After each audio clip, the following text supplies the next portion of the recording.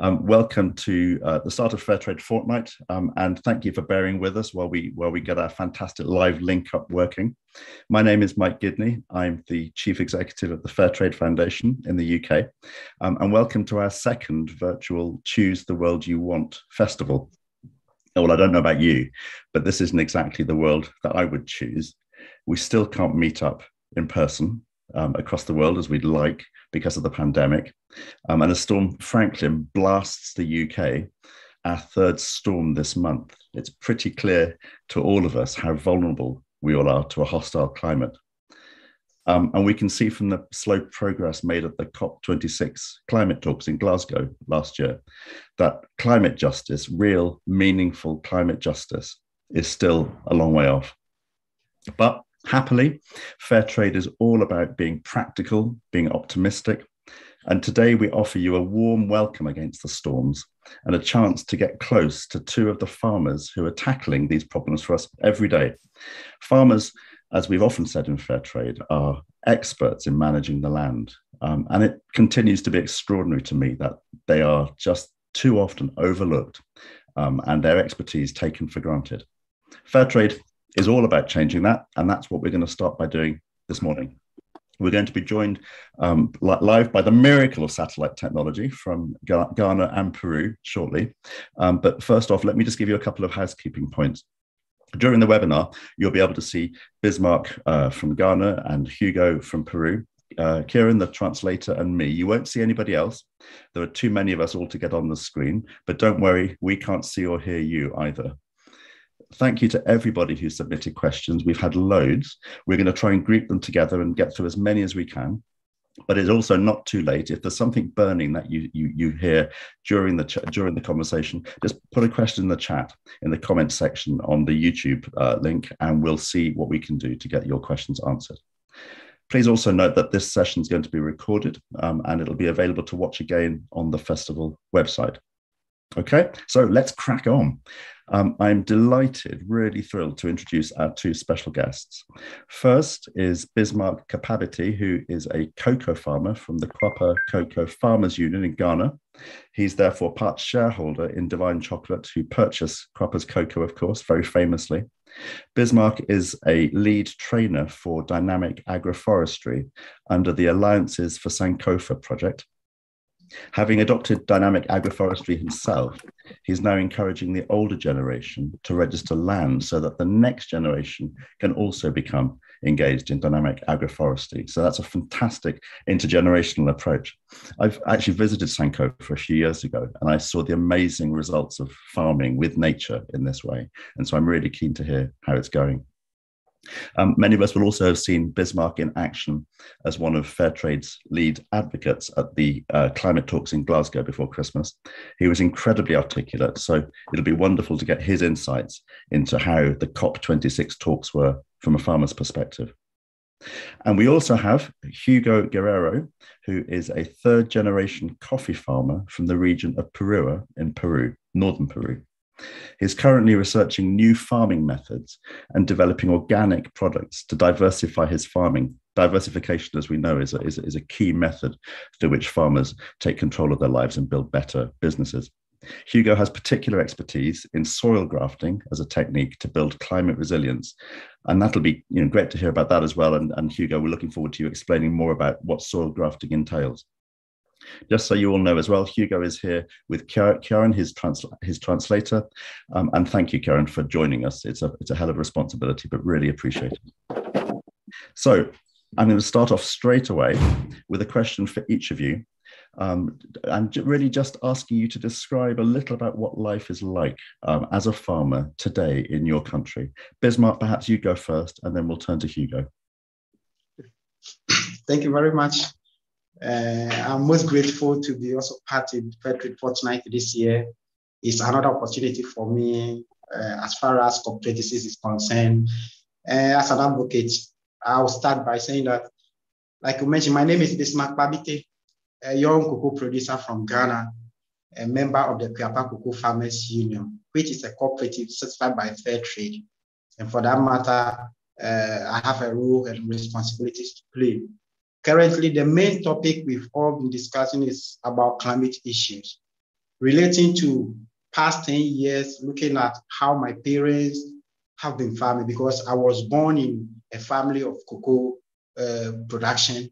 And through that, uh, I've been able to be educated or go to school and then acquire some basic knowledge and also can speak a bit of English.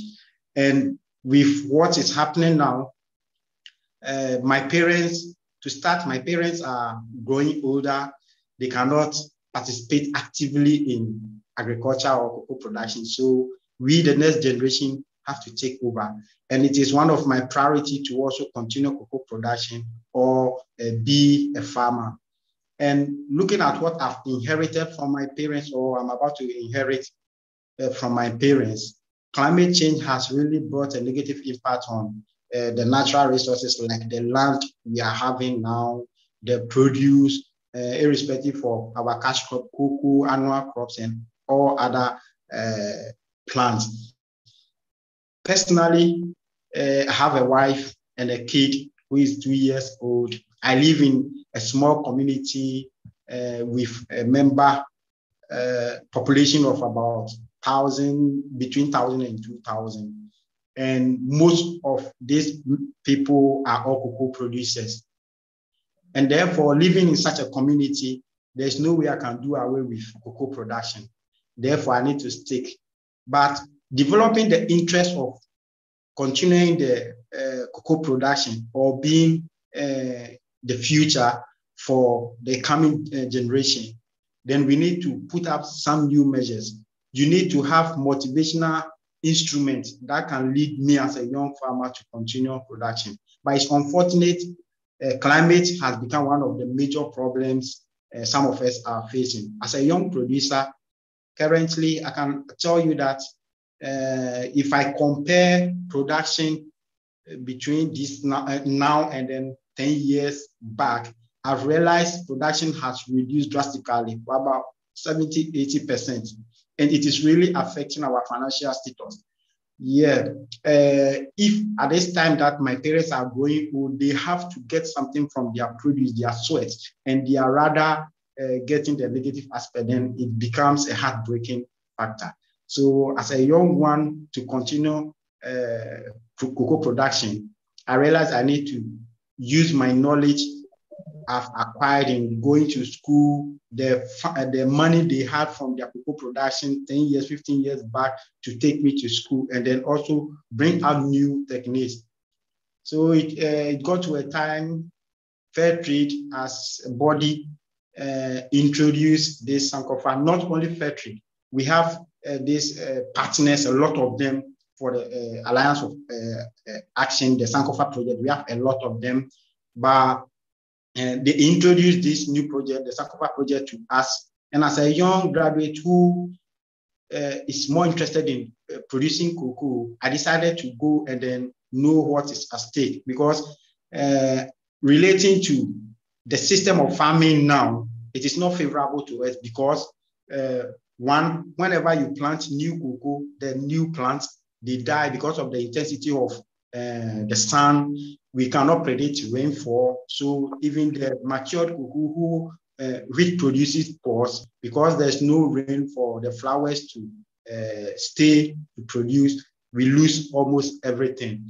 Also, because of the long drought, it has really introduced pests into our uh, system, the cocoa farm because these pest insects try to look for water around. And unfortunate thing is the streams, the rivers around our communities are all dried up because most of the trees have been cut down and they are exposed to direct sunlight. So most of these streams which support other animals, insect predators and other things to feed on, we've lost all those uh, rivers. And for that matter, they try to feed on this cocoa.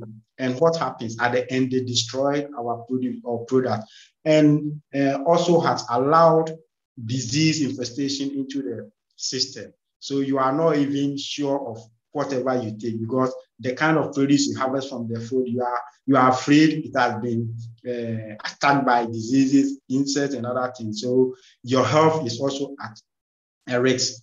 And for that matter, when they introduced the Sankofa project, they gave us the understanding that it is time we need to put up new measures to adapt to the climate issue so that at the end we can mitigate against climate change. And this new system of farming, that is what we call the dynamic agroforestry.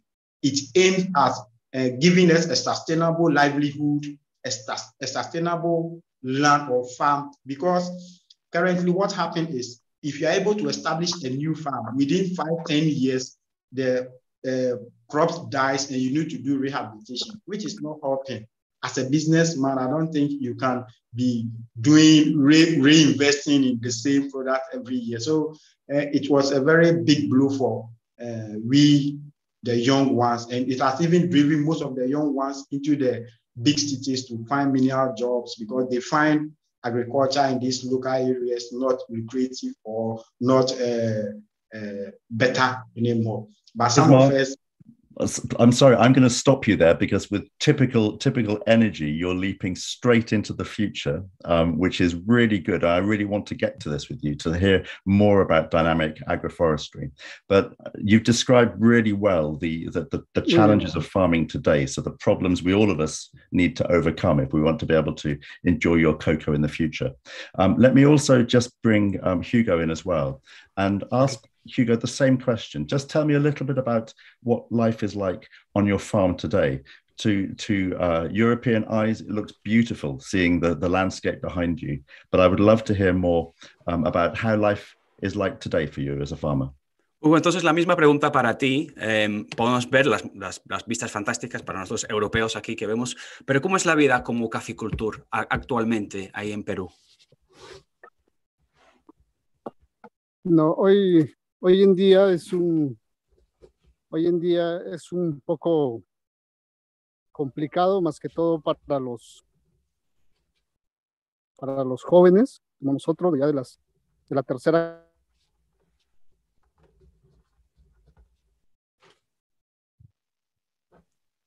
Generación de, de productores de café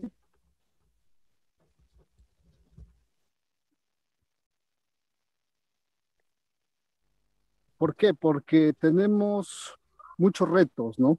Cambio climático como las bajas producciones en el cultivo de café. Entonces, a esto, eh, mi persona, yo termino la universidad en el año 2011. Yo estudié en Lima. Y, decidí regresar entonces a mi comunidad, ¿no? Diferente, ¿no? De la que se venían haciendo, ¿no? Buscar nuevas eh, formas de cultivar, ¿no? Porque normalmente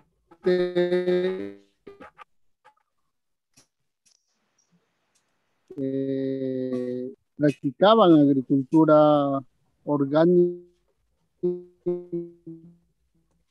pero sin ningún tipo de tecnología, ¿no? Entonces en mi entorno, ¿no? Mm, por ejemplo, de café, como también de la caña de azúcar. Con eso yo hago biofertilizantes, una serie de algunos orgánicos para regresarlos al mismo cultivo, ¿no? Entonces eso me ha permitido a mí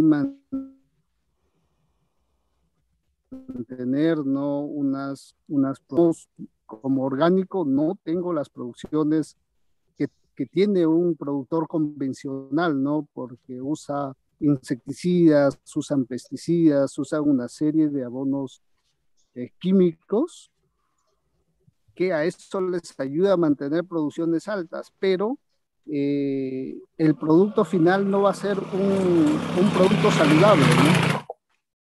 Entonces, eh, para mí lo más importante como productor de café es obtener un producto sano, ¿no? Para todos los consumidores del comercio. creo que esa es, la meta de un como yo. Eh, bueno, diría que la vida de un, de un productor en Perú es una vida, eh, me siento satisfecho de ser un productor de café se necesita esfuerzo, dedicación, ¿no? Eh, pero sin eso yo creo que no podríamos seguir adelante, ¿no? Y, para mí creo que eh, también producimos este, panela granulada, que es un azúcar ecológica, eh, para todos los, los, consumidores de comercio justo ¿no? de, de, Reino Unido, ¿no? Y más que todo productos eh, saludables, ¿no? Que ese es lo, digamos, lo más importante, ¿no? Podemos tener altas producciones, creo que no sería el fin de, de, de un productor, ¿no? Yeah, so um, so so far, obviously the connection was a bit bad. That we'll go through what we can get. Um, so today, it's it's quite difficult to be um, to produce coffee and to be a coffee producer um, in Peru. You know, I'm, I'm third generation from you know my my family, my going back in time, my family produced coffee, and, and I went to university and kind of did things a little bit differently. I went to university in in in the capital in Lima, um, and I learned about different techniques. I finished my studies in 2011, and then I came back to my local area where I was born, where I was from, and I wanted to produce coffee, but in a different way. Um, it's true that coffee production has dropped in the last few years, but my idea was not to necessarily just go on and increase production, but I wanted to do it in, a, in an organic way and to kind of employ different technology. So I create biofertilizers, um, and my idea is to is about the quality that I produce and making sure that chemicals aren't added to it because there are people that are producing more coffee, but that's not the goal for me. The goal is to produce a healthy product so that the consumers are satisfied and I can also be satisfied with what I'm producing. So we also, uh, beyond producing coffee, things like panela, uh, an organic sugar, you know, is very, very popular exporting to countries like the UK. But my, my aim is almost, almost always to produce a healthy product that is not kind of quickly uh, made, that's, that's done with health of the consumer in mind. Olinko, and that was that was that was really really good to hear. And um, yeah, thank you everybody for bearing with us with the with the uh, internet challenges. I mean, this is this is what we have to do if we want to hear from the farmers. You know, we have to recognise the the immense challenges um, that we maybe take for granted. We take our internet access for granted. Uh, most of our farming colleagues don't have that privilege, um, but it is so good that you're joining us, Hugo. And um, yeah, it was it was really good to hear that. Um, both of you, Bismark and Hugo, have talked about um, quality and wanting to be innovative in your farming techniques. And again, let me come to each of you in turn and just describe a little bit about what the future holds in terms of innovation. So, Bismark, maybe you can tell us a bit more what you were starting to get into around what dynamic agroforestry means. Um, and then, uh, Hugo, I'll come to you in a minute and ask you to describe soil grafting and the techniques that you that you want to deploy to just to improve the quality of the soil and the quality of your farming. So, Bismark, over to you first. Okay, thank you very much. Like uh, I earlier mentioned, dynamic agroforestry, when it was introduced to us, we were usually uh, based in, in, the, in the conventional system of farming. Like we were used to the conventional system of farming. In this system, you clear your land, you add, you apply fire, that is, you burn almost everything on, and that's called, land. Bismark, sorry to interrupt, that's called slash and burn, isn't it? Slash yes. and burn. It's an old, old technique but which destroys yeah. everything after the harvest. Yes. So like you do the slash and burn, and then before you, you plant whatever the annual crops and then the cocoa or if the other plants. But when this dynamic agroforestry was introduced to us, they made us understand that no, we can still go by the dynamic way, adding different uh, plants on the same piece of land. Initially, if you have a plot of land to plant your cocoa, you need to also hire another one from your uh, uh, for your annual crops only, and it is really expensive because uh, currently we don't have much land to, to, produce. So if you don't have money, you cannot acquire other lands elsewhere to produce more to protect food security. But this system has made it understand that uh, on the same piece of land, you can have your annual crops, your cocoa, your fruit trees, your timber trees, and any other. And during the piloting, we were like doubting because it wasn't something uh, uh new to, it was something new to us. So we wanted to find out the end solution. And after the piloting, after two years, we realized, okay, it is really working. And for that matter, we need to adopt this new system of farming. So on the same piece of land, we do the slashing but this time we don't burn. We don't add any organic, uh, any inorganic products to the food. So we go purely organic. And also we do our line pegging, and then we start uh, sowing our seed, planting our food crops, and then also the main thing is the cocoa.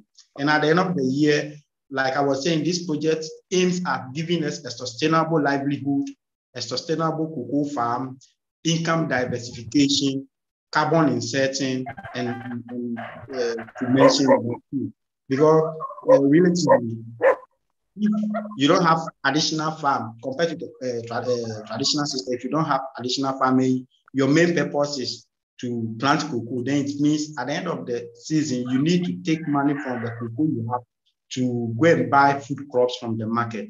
But on the uh, in this project, you have your yam, your maize, your cocoa yam, your vegetables, your plantain, almost everything on the safety supply. So one, we have food security. Also, our income has been diversified because we have different angles where we get our uh, money from. Though it might not be that much, but I think it is really helping on the on, the staff. And also uh, because we are looking forward to have a sustainable cocoa farm, we don't want this new system to die in 10 years so that my son, if he is interested to come and continue uh, cocoa producing, he need not to come and do rehabilitation again, but rather continue with what I have started because we came to inherit unproductive cocoa, cocoa which is infested by disease and other problems, and we cannot manage those farms. We need to cut everything down and then plant new cocoa. So we need to put up a new strategy to have a sustainable cocoa plantation. That is the, uh, the dynamic agroforestry. We also protect the soil by planting a lot of cover crops so that we assure that uh, there's always some form of moist in the soil to keep the plant growing. We also plant shade trees and also add timber, which we believe they are the main source of uh, carbon insertion. So with all these practices, uh, during the dry season, we also have something we do to protect our cocoa. That is by irrigation. So we don't have much money to do commercial irrigation or electronic irrigation, but we use our plantain or banana we plant on our field and then use them as a traditional irrigation for our cocoa.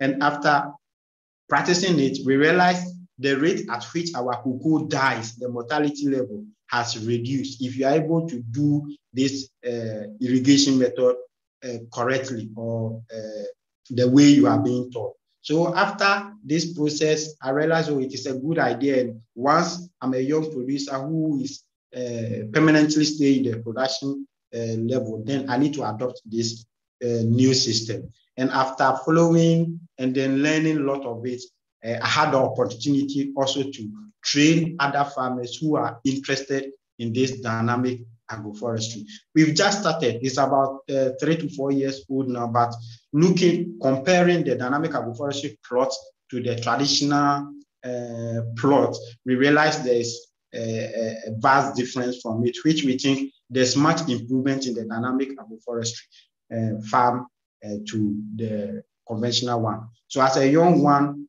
uh, I take it as a responsibility to advocate on how to adapt to the dynamic agroforestry so that in, in, the, in, the, end, we all come to a conclusion by solving this uh, issue on climate change. Yeah. That's so inspiring, Bismark. And um, it, I, as I say, I, I was lucky enough to visit a few years ago, and it looked like the most extraordinary initiative when I, I visited because it was it was planting with nature rather than against it you know? So so the intercropping the lines of sacrificial plants and the mixing of your annuals and your other crops and then the shade as well as the ground cover to me it looked like the garden of eden. It was an extraordinary thing. Can it can you tell me um what's what has it enabled you to reduce your pesticide and insecticide use by farming in that kind of way? Please come again so so what has happened to how much uh, insecticide and pesticide you use on the soil dynamic agriculture dynamic agroforestry does that help you to reduce the chemicals you put onto, onto the land Yeah, thank you very much. With dynamic agroforestry on, on that particular field, we don't apply any form of pesticide or herbicide. Yeah, it's a zero uh, uh chemical. So it's purely organic. Yeah. That's very cool. That's very cool. Um, let's hold it there. Let's ask uh, Hugo um, to tell us a little bit about soil grafting and uh, some of the techniques you're using to to improve the quality of your farms and to to uh, the, uh, particularly focus on the climate uh, resilience. Sí, Hugo, primeramente tienes que ponerlo porque estás en silencioso, entonces lo puedes eh, cambiar. Eh, sí, la pregunta era, eh, hablamos, hablamos un poco de los injertos que utilizas para fomentar y para fortalecer la resistencia en cuanto a los cambios climáticos. Pues hemos hablado de los injertos de café, por ejemplo, que, me explicaste antes.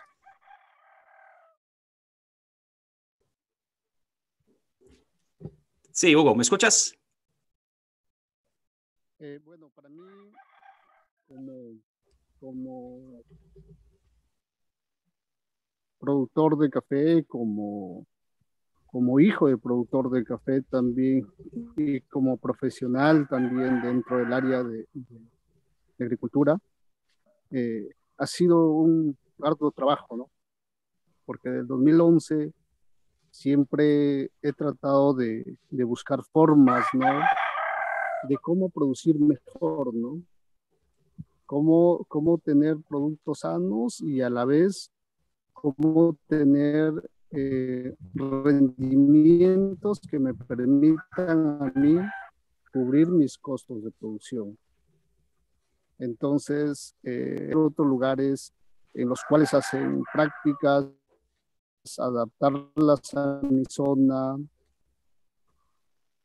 y, probar, ¿no? Y ver, quizás eh, eh, a mí me faltan un poco de recursos para poder ver ya la parte científica, ¿no? Digamos que yo lo hago empíricamente yo lo hago eh, eh, mediante, digamos, el resultado que me dé en campo.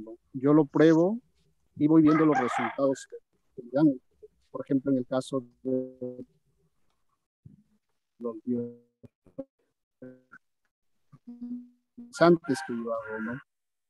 Eh, los pruebo. Todos estos biofertilizantes, por ejemplo, yo hago a base de residuos de café a base de, excremento de vaca, no de ciertas plantas que tienen ciertas eh, cantidades de nutrientes, por ejemplo,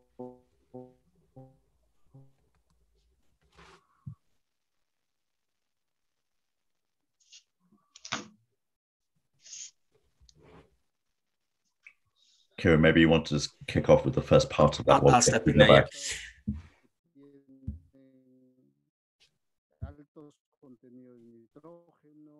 Plantas que tienen altos y los resultados se ven, se ven. Muy bien. Um, so for me as a, as a coffee producer, uh, you know, the son of a coffee producer as well, um, it's been it's been a lot of long work, a lot of hard work um, since 2011. I've been looking for ways to kind of better to improve production uh, in a in a healthy way and to improve performance uh, uh in my on my particular fields. Um, but it's difficult because it's very much um, a case of me taking methods that I've learned, that I've studied, and then trying to apply them in the in my local area. It's difficult really because I have to do it very much, you know, through trial and error and feeling my way and looking to see what works. I'm I kind of lacking in terms of scientific resources to to measure things exactly, but I can see the results, you know, myself in my field and to see what's what, what's happened. Um, but to do this, you know, I, I try and use what we've already got, whatever you know byproducts uh, coffee produces, whether it's kind of skin, whether it's um, other things that I can use around me, like cow dung or other things that provide nutrients to, to the plants and, and ultimately get results that I can see firsthand. That's fascinating. Both of you are describing, um, you know, real ingenuity and practical innovation. Um, just linked to that, we've had a, a number of people asking us about the importance of community, the importance particularly of your cooperatives. You know, being organized is one of the fundamental principles of being fair trade. And people are asking, what role does your cooperative play? How do they help? How does it work? And perhaps, Hugo, can we start with you and then go to Bismark after? Hugo, ¿nos, ¿nos puede explicar un poco lo que significa formar parte de una cooperativa y, y, y, lo que trae esto y lo que te da? Cambiarte modo silencio primero, por favor.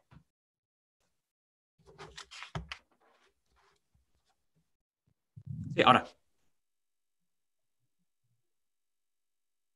¿Escuchaste la pregunta? No, no, no, no te escuché. Ah, entonces era la importancia de, de, estar, formar parte de una cooperativa y lo que te da esto, la posibilidad de trabajar con otros productores, que, que compartir ideas, esas cosas. Eh, el estar dentro de una cooperativa o el estar dentro de una, de una asociación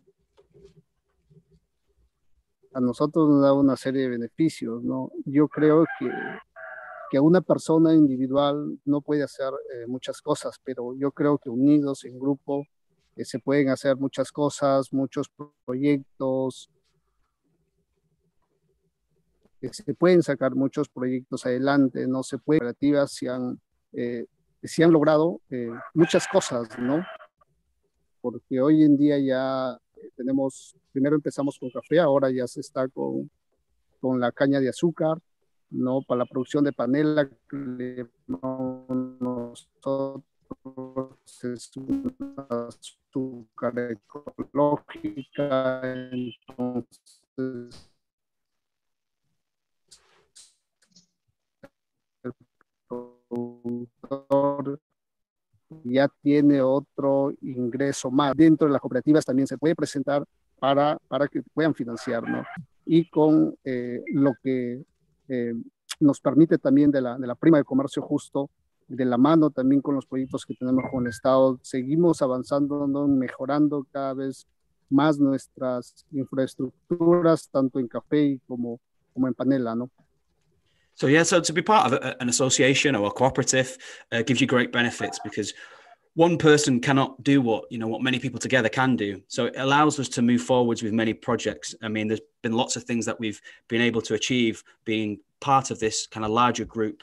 Um, and it's not just um, coffee production it's also sugarcane panela which is something that we produce a, a non-refined sugar uh, here in peru. Um, and so that kind of diversification in what you can produce for example, producing not just coffee but but also sugarcane, um, means that you you are able to to finance other things. Uh, you have kind of a second um, secondary income, so that d- diversifies things, and that along with the fair trade premium just means you can improve things like infrastructure and just the way that you farm in general. Well, that's great to hear. Thank you, thank you. And Bismark, how about you with Kuapa? Bit breaking in the question, so I didn't get the question well. So if you can please repeat it for me. Yeah, no worries. And isn't, isn't it wonderful to hear Hugo's farm animals in the background, keeping us company through this? Um, yeah, Bismark, I was just asking um, on behalf of a number of people here who have sent questions in um, asking about the importance of the cooperative. So, so how important is the community structure, the cooperative in Kuapa Kokoo, to you as a farmer? Okay, thank you. Uh, we have a lot of these uh, buying agencies, buying agencies in, in the uh, country. And if you are an individual producer who doesn't belong to any cooperative, it, it means it's going to be difficult for you to channel your grievances, your problems to people to know. But if you come in a corporate form, like you organize yourself, like my cooperative, Kuapa Kokoo Farmers Union, it becomes a uniform thing. We have is very strong. And whenever there is any problem, farmers, individual farmers have challenges because we are organized. It is very easy for us to present our issues on board. And uh, as a cooperative, almost everything they do for the members is uh, in order. There's no uh, cheat or there's always fairness in presentation. If there's any form of benefit, they make sure every member of the cooperative uh, gets something from it. Because if we are splitted and one person receives the benefit, it means the others may not. But if you are in a corporate uh, uh, cooperative, whatever, whether being a bonus, uh, a premium, uh, any form of motivational thing, because it is a uniform body, we decide on our own what to use those things for. So being in a cooperative is one of the most important things to do as an individual producer like myself. Thank you.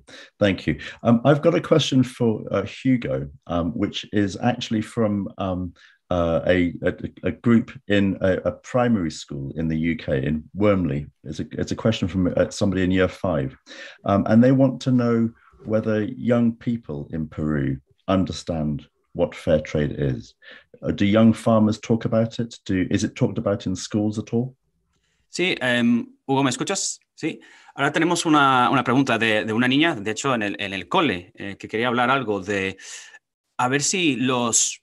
Ella pregunta si, si, ustedes ahí, sobre todo los jóvenes, entienden lo que significa el comercio justo y, y lo valoran. ¿Me puede repetir la pregunta? Sí, la, Sí, no, em, la idea es, era de una, una niña en, em, del colegio aquí en Inglaterra y quería saber lo importante del comercio justo para sobre todo los jóvenes, si entienden lo que significa en realidad el comercio justo.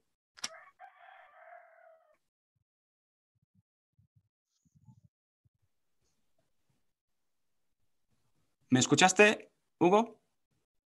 ¿Me escuchas ahora?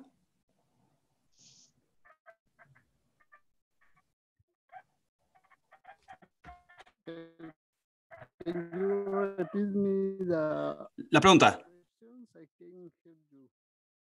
Ok, ¿me, ¿me escuchas ahora, Hugo?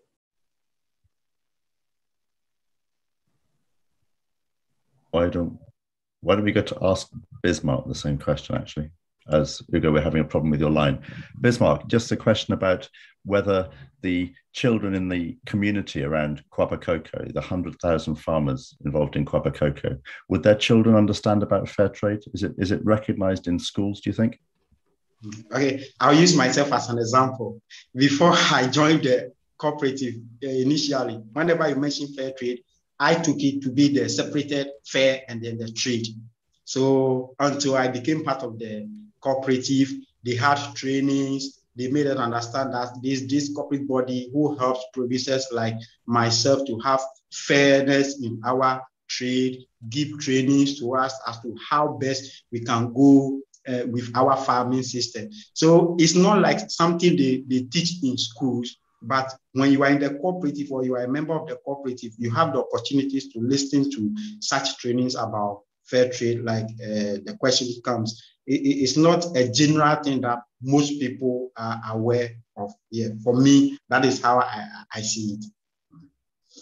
There's lots more to do. There's, the, I think, the, uh, the beginnings of um, a real network between farming communities and consuming communities around the world, which I think we could be a real strong part of in fair trade. Ugo, good to have you back with us. Um, can I ask? I want to put one more question to you both, and then there's some other questions coming in on the chat. Um, and this is about how you add value to your products. So, one of the challenges the world over is for farmers to capture more value in terms of processing or manufacturing. Um, and I, I'm wondering what initiatives you're involved in, or what would you like to be involved in to help you do that? Hugo, maybe you first and then Bismarck. Hugo, ¿me escuchas? Entonces, la primera pregunta es, ¿cómo añades eh, valor eh, en cuanto a la producción eh, de, de, lo que produces eh, y sobre todo el, el, proceso de eso? ¿Cómo puedes añadir valor?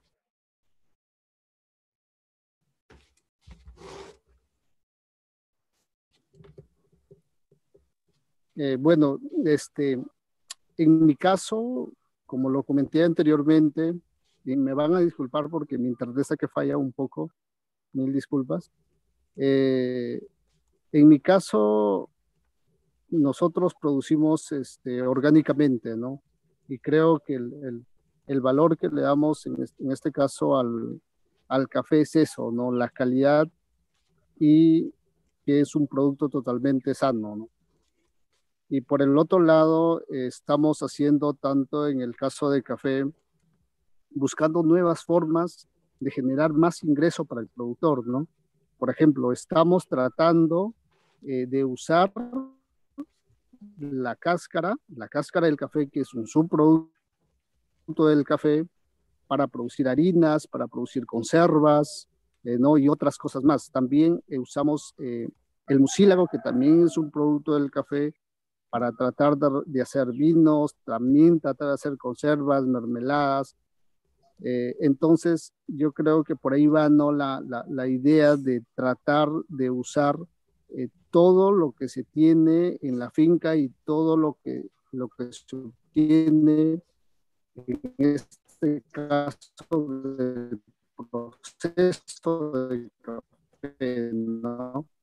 Y darle valor agregado y eso eh, eh, utilidad para el productor, ¿no? Creo que para hacer esto se necesita tiempo, se necesita investigación y se necesita recursos, ¿no? Y, y, para eso también creo que la mano deben estar todas las instituciones, las cooperativas y también el, el, el Estado, ¿no? Para que un productor eh, pueda salir eh, adelante, ¿no? Muy bien.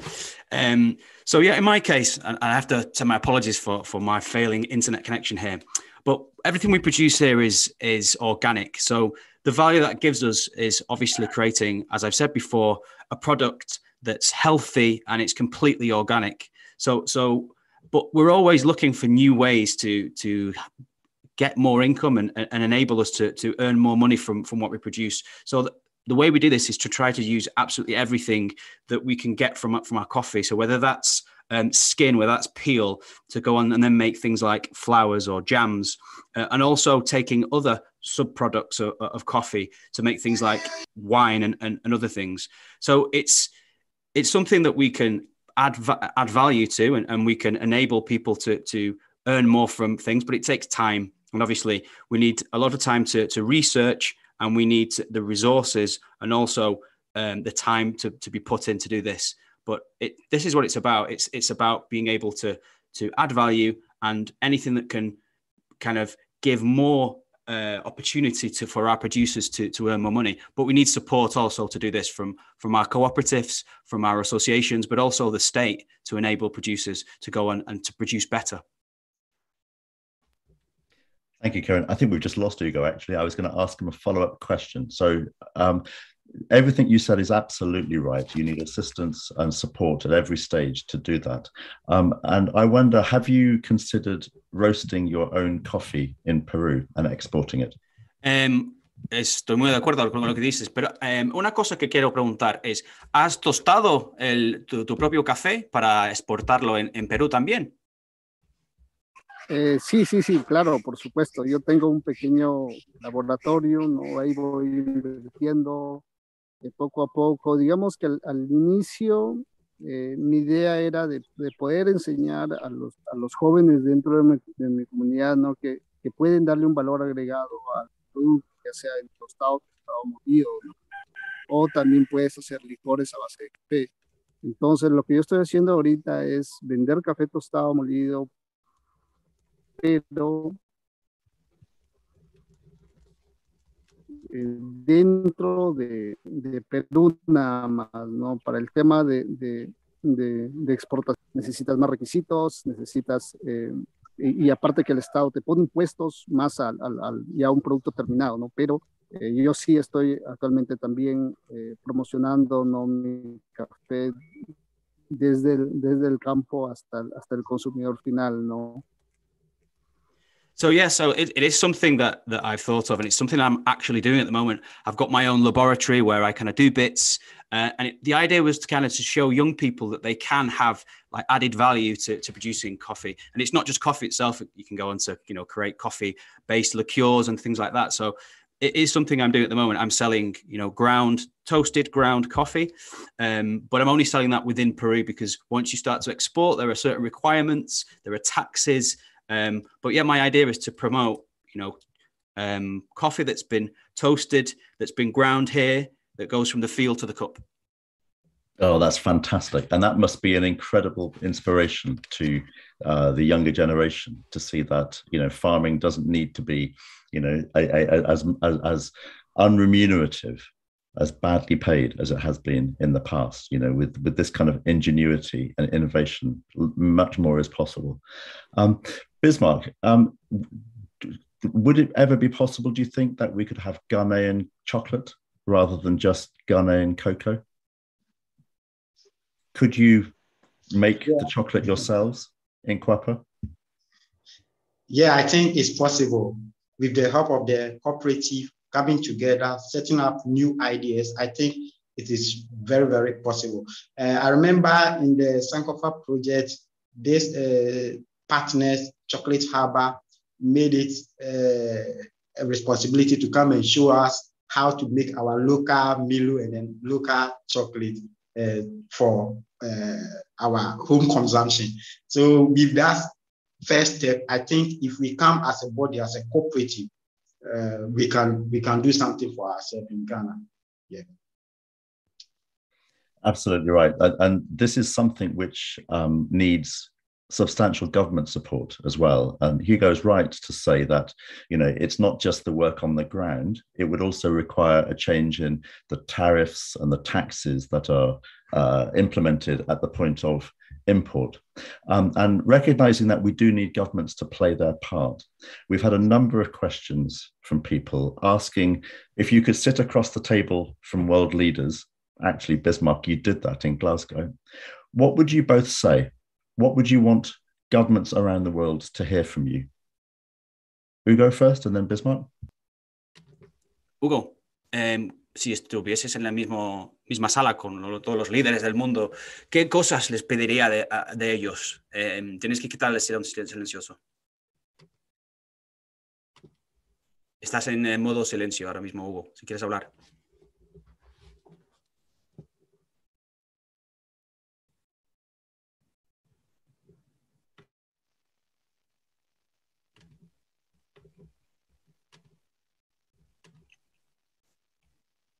Aquí se lo vi, bueno, que, Hugo, pues si estás todavía en, en, modo silencioso, ¿puedes, puedes cambiarlo, puedes quitarlo.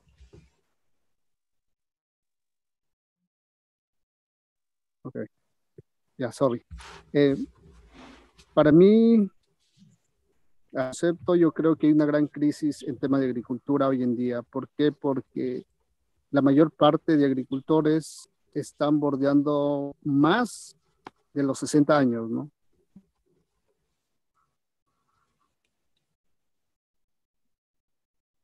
Yeah, so for me, there's a big farming crisis that exists at the moment, and I think por the encima de los 60 años de edad y quieren involucrarse al tema de agricultura porque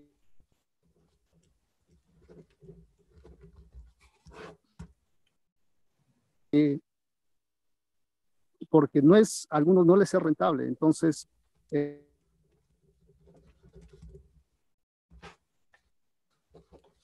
yo creo que eh, tanto a la agricultura va por el tema unos que hay y el otro es porque falta investigación. Y yo creo que eh, tan, todos los, los gobiernos del mundo deben fijarse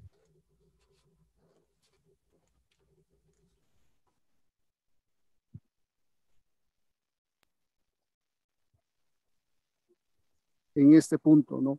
Que debemos producir eh, sanamente y porque la agricultura es la fuente de alimentación para todas las personas sin excepción en todas las partes del mundo. So for for me, I think we're we're in the midst of a farming crisis at the moment, and the way you can see that taking place is that the majority of, of farmers, you know, are in and around 70 years of age. You know, it's it's definitely not something that young people are taking up um, because they don't see farming as a financially sustainable um, livelihood. So I think we need a lot of research. We need governments to look at it, look at specifically this point, and understand that farming is is the source of food for the whole world, and it's and it's something they really need to take note of. Absolutely right. Um, and that sense of making farming work for the next generation matters to all of us so much, doesn't it? It's a very, very important point, Hugo. Um, Bismark, what would you say if you had the world leaders listening to you now? Yeah, thank you very much. I think I still stick to the same message I sent to Glasgow. And, you know, after hearing there have been pledges on supporting producers like myself with 100 billion US dollars, I think uh, for me, anytime I get a platform to pass on any message to the worldly leaders, I'll still maintain that uh, it is time, it is not too late to do. It is time for them to just adhere to their promises, make their promises a reality. Because if uh, these things are being put in place and some of us producers like myself we have the interest or we, we get the motivational uh, factor in uh, producing, I think we are going to solve food security. And we need to think about the future too, because looking at what is happening now, it is getting worse. So it is time we need to do something about it. And that is where they will support us financially so that most of the young ones like myself will come into agriculture, put the table, change the environment, make the whole world a green and a, a conducive area for human and animals to live in. Yeah. Well said. Thank you. Um, and that leads me to my last question because unbelievably we're out of time already. We're going to run over just a couple of extra minutes because we started late. So thank you everybody for bearing with us. Um, but I did want to ask you both to think forward 10 years or so. If we were meeting again, maybe face to face rather than on Zoom in 10 years' time, um, what would you want to be able to look back to? What do you want us to have achieved together over the next 10 years? Bismark, do you want to go first? And then Ugo?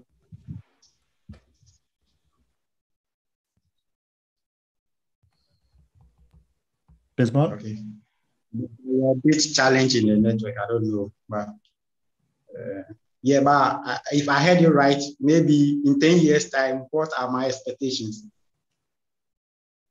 Yeah, okay. Then uh, currently, uh, for my side, I need to fight hard as an advocate.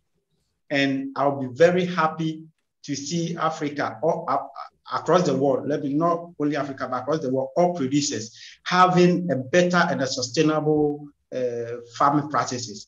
And also to reduce the temperature level most of us are facing and this uh, natural occurrence, overflooding, earthquakes and other things, we know in, in one way or the other, they are being uh, caused by this uh, climate issue. So if you are able to adhere to this new system, go by a better way of agricultural practices, and we build our world again, I think when we meet one-on-one, we will be laughing instead of uh, the other way around. Yeah. So, and I'll also be happy here. I'm part of the advocate who made brought change to this world in terms of climate crisis. Brilliant. Well done. Absolutely right. When we meet again, we'll be laughing. That's that's a fantastic ambition. Ugo, what about you? If you wanted to cast your eyes forward 10 years. Hugo, si pudieras ver ya en 10 años en el futuro, ¿qué, ¿qué, te gustaría haber logrado? Y en estos pues 10 años lo que quiero ver es eh, que muchos productores vuelvan dentro de la agricultura orgánica, ¿no? Que se pueda eh, producir sanamente, ¿no? Ya no haya de químicos a diestra y siniestra, ¿no?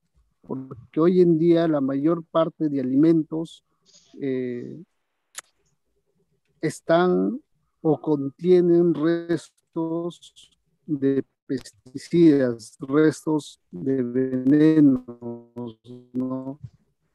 Entonces,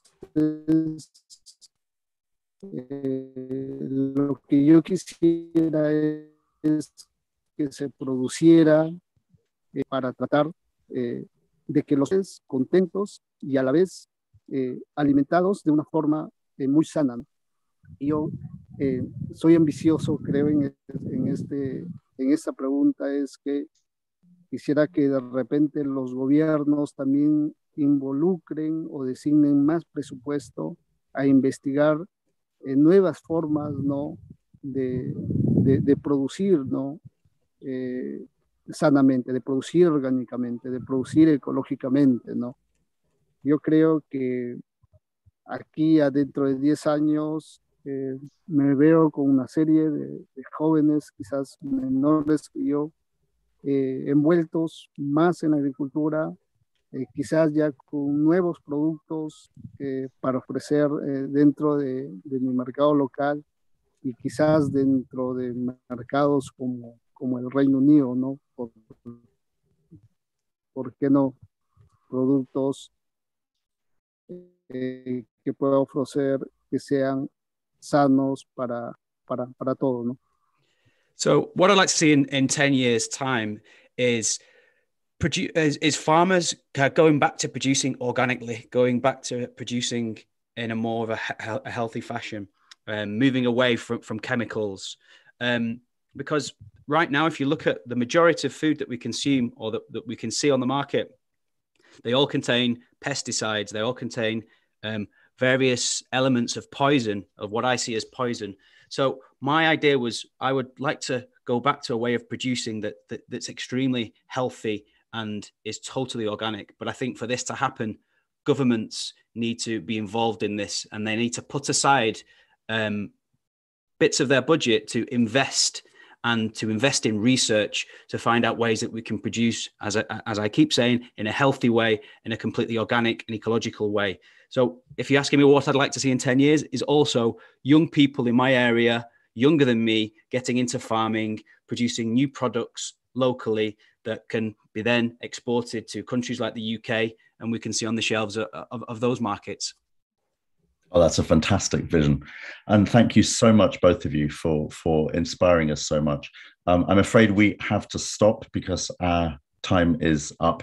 Um, but I did want to say a huge thank you to Bismark and to Hugo for joining from the front line. You know, it's live link up, as you can see by the dodgy internet, but it's a chance for us to hear how farming feels today in Peru and in Ghana. Um, and both of you, I think, have have captured for us really well the the sense of the, the expertise, the understanding of farming, the soil, soil health, plant health that all of us need if we're going to tackle the climate crisis whilst we're also feeding a growing population. Um, we could have talked for much longer. There were many more questions that came in that we didn't have a chance to uh, get to. So thank you everybody for joining and for putting your questions in. There will be more chance to talk about more of this across Fairtrade Fortnight. Kieran, thank you so much for epic translation, particularly with the uh, tough internet link. You did a fantastic job. Um, and I mean, this is the start, right? So, this is the start of the next chapter of the conversation about how fair trade farmers around the world are tackling the climate crisis. If you've been interested in what you've heard so far, join in for other events. I think there are 40 of them across, across the uh, Fairtrade Fortnight. Um, further details, of course, on our website, fairtrade.org.uk um, and see what you can join. And of course, while all of our events are free to attend, if you'd like to support farmers or workers on the front line of the climate crisis, please donate what you can. Um, there should be a QR code on your screen, or if not, there's a link through the Fairtrade Foundation website. Um, and let's keep this conversation going because enough of us want to see this happen. Enough of us want to see the vision that Bismark and Hugo have started to paint for us today come to life. And if we all work together, we will get there. So keep smiling um, and uh, have a safe and happy Fairtrade Fortnight. And thank you, everybody, for joining today. Thank you. Bye. Bismark, Bye. Hugo, thank you so much.